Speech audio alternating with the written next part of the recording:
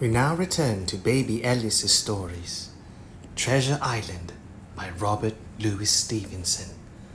Part 5 My Sea Adventure. Chapter 26 Israel Hands. The wind serving us to a desire now hauled into the west. We could run so much the easier from the northeast corner of the island to the mouth of the north inlet only as we had no power to anchor and dared not beach her till the tide had flowed a good deal further, time hung on our hands. The coxswain told me how to lay the ship to. After a good many trials, I succeeded, and we both sat in silence over another meal. Captain, said he at length with that same uncomfortable smile. Here's my old shipmate, O'Brien.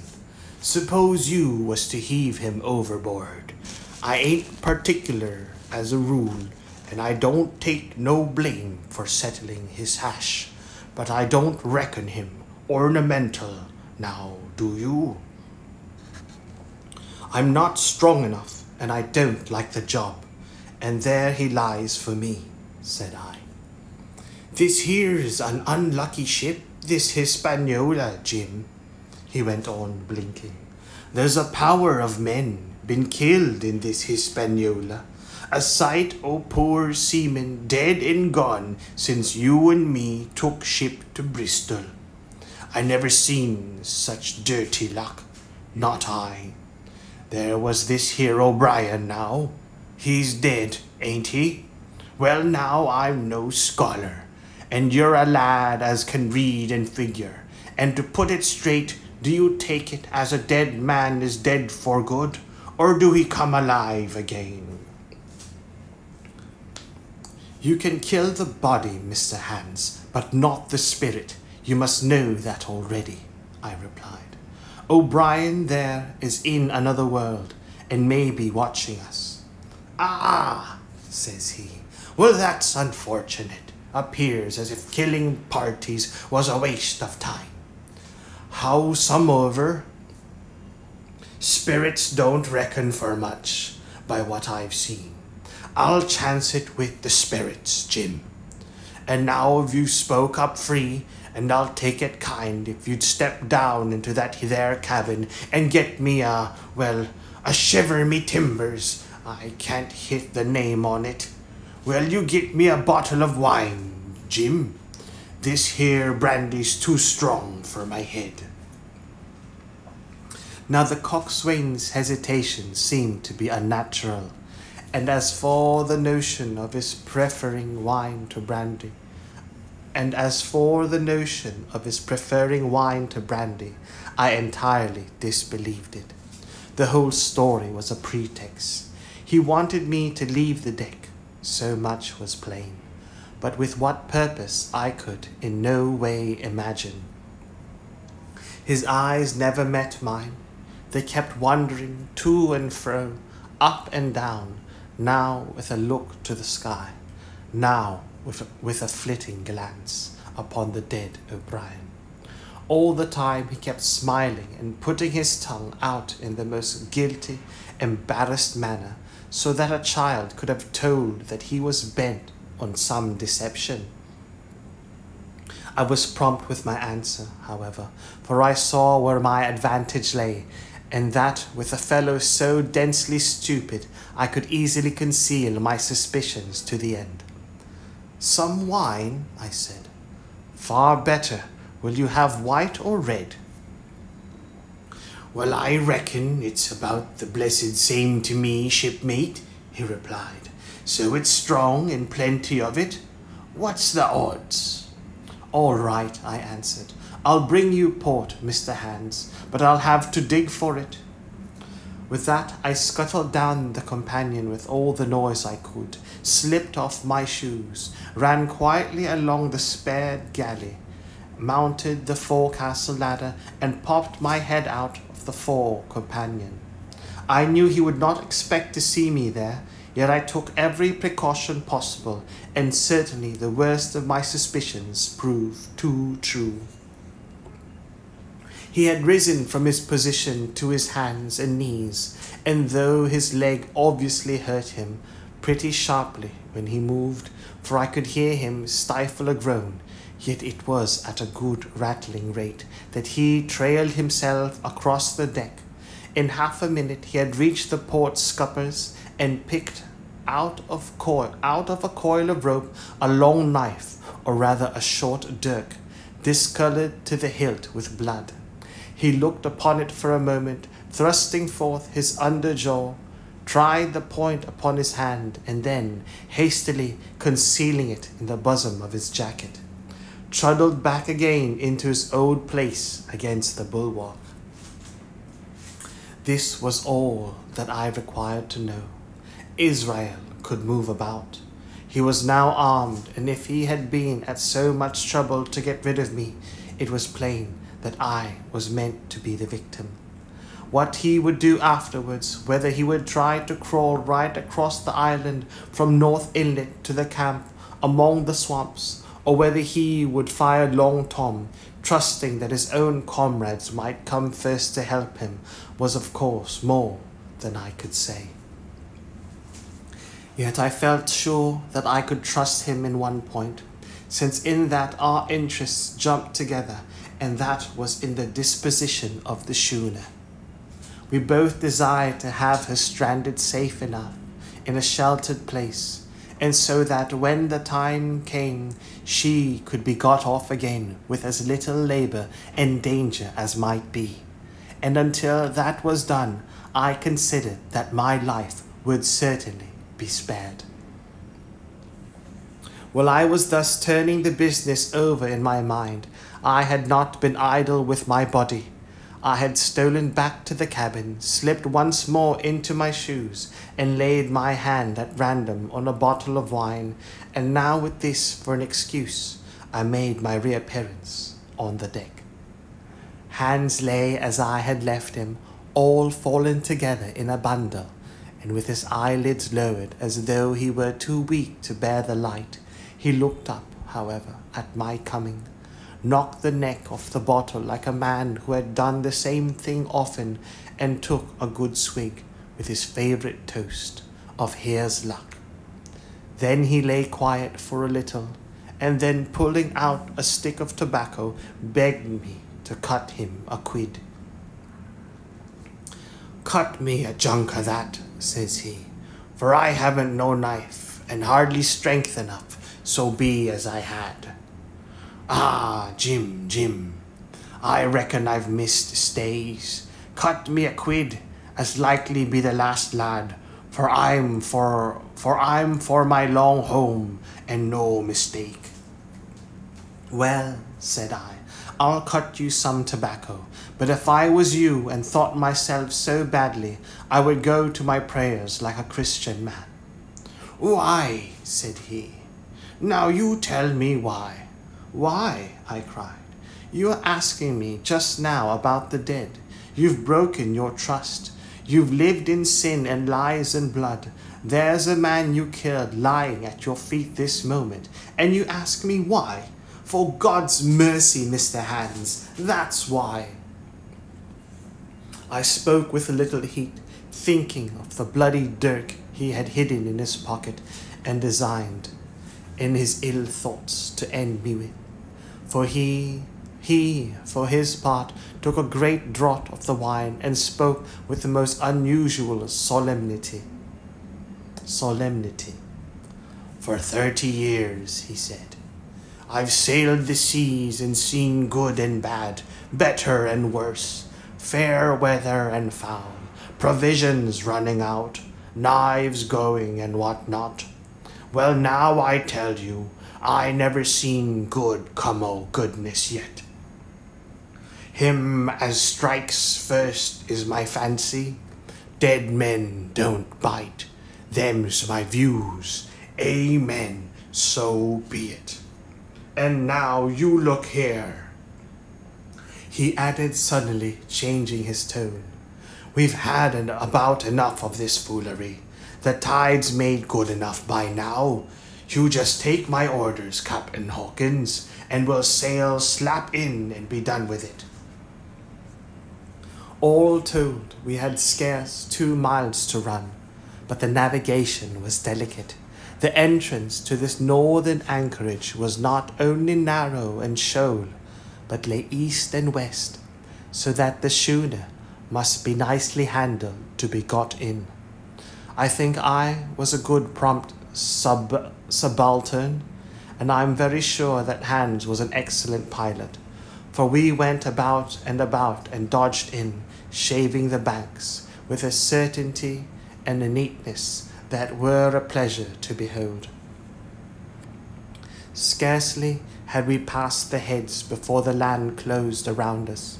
The shores of North Inlet were as thickly, were as thickly wooded as those of the northern anchorage, but the space was longer and narrower and more like what in truth it was the estuary of a river. Right before us, at the southern end, we saw the wreck of a ship in the last stages of dilapidation. It had been a great vessel of three masts, but had lain so long exposed to the injuries of the weather that it was hung about with great webs of dripping seaweed, and on the deck of it shore brushes had taken root and now flourished thick with flowers. It was a sad sight, but it showed us that the anchorage was calm. Now, said Hands, look here. There's a pet pit for to beach a ship in. Fine flat sand, never a cat's paw, trees all round of it, and flowers are blowing like a garden, like a garden on that old ship. And once beached, I inquired, how shall we get her off again? Why so, he replied. You take a line ashore there, on the other side at low water, take a turn about one of them big pines, bring it back, take a turn around the capstan, and lie to for the tide. Come high water, all hands take a pull upon the line, and off she comes as sweet as nature. And now, boy, you stand by.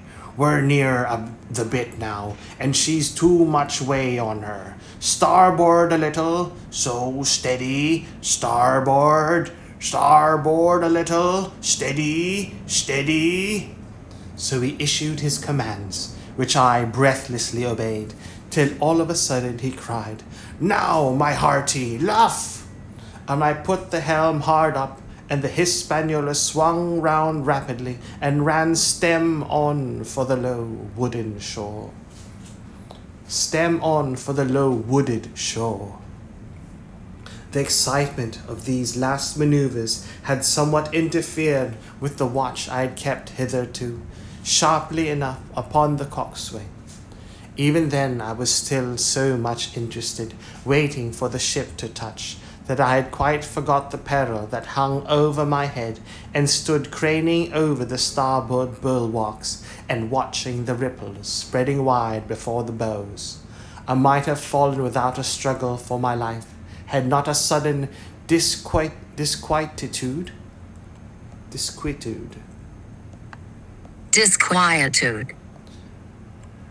I might have fallen without a struggle for my life had not a sudden disquietude seized upon me and made me turn my head. Perhaps I had heard a creak or seen his shadow moving with the tail of my eye. Perhaps it was an instinct like a cat's. But sure enough, when I looked around, there was Hands, already halfway towards me with the dirk in his right hand. We must both have cried out aloud when our eyes met, but while mine was the shrill cry of terror, his was a roar of fury like a charging bully's. At the same instant, he threw himself forward, and I leapt sideways towards the bows. As I did so, I let go of the tiller, which sprang sharp to leeward, and I think this saved my life, for it struck Hands across the chest and stopped him for the moment, dead. Before he could recover, I was safe out of the corner where he had trapped me, where he had me trapped, with all the deck to dodge about. Just forward of the main mast, I stopped, drew a pistol from the pocket, took a cool aim, though he had already turned and was once more coming directly after me, and drew the trigger. The hammer fell, but there followed neither flash nor sound. The priming was useless with sea water. I cursed myself for my neglect. Why had not I, long before, reprimed and reloaded my only weapons, that I should have not been, as now, a mere fleeing sheep before this butcher? Wounded as he was, it was wonderful how fast he could move, his grizzled hair trembling over his face, and his face itself as red as a red ensign with his haste and fury. I had no time to try my other pistol, nor indeed much inclination, for I was sure it would be useless. One thing I saw plainly I must not simply retreat before him, or he would speedily hold me boxed into the bows, as a moment since he had so nearly boxed me in the stern. One so caught, and nine or ten inches of the blood stained dirk would be my last experience on this side of eternity. I placed my palms against the main mast, which was of a goodish bigness, and waited every nerve upon the stretch. Seeing that I meant to dodge, he also paused, and a moment or two passed in feints in, on his part and corresponding movements upon mine. It was such a game as I had often played at home about the rocks of Black Hill Cove, but never before, you may be sure, with such a wildly beating heart as now. Still, as I say, it was a boy's game, and I thought I could hold my own at it against an elderly seaman with a wounded thigh. Indeed, my courage had begun to rise so high that I allowed myself a few darting thoughts on what would be the end of the affair, and while I saw certainly that I could spin it out for long, I saw no hope of any ultimate escape. Well, while things stood thus, suddenly the Hispaniola struck, staggered, ground for an instant in the sand, and then, swift as a blow, canted over to the port side till the deck stood at an angle of 45 degrees, and about a puncheon of water splashed into the scupper holes and lay in a pool between the deck and the bulwark. We were both we were both of us capsized in a second, and both of us rolled almost together into the scuppers, the dead red cap, with his arms still spread out, tumbling swiftly after us. So near were we indeed that my head came against the coxswain's foot with a crack that made my teeth rattle. Blow and all, I was the first afoot again, for hands had got involved with the dead body. The sudden canting of the ship had made the deck no place for running. I had to find some new way of escape, and that upon the instant, for my foe was almost touching me. Quick as thought, I sprang into the mizzen shrouds, rattled up hand over hand, and did not draw a breath till I was seated on the cross trees. I had been saved by being prompt. The dirk had struck not half a foot below me as I pursued my upward flight. And there stood Israel Hands, with his mouth open and his face upturned to mine, a perfect statue of surprise and disappointment.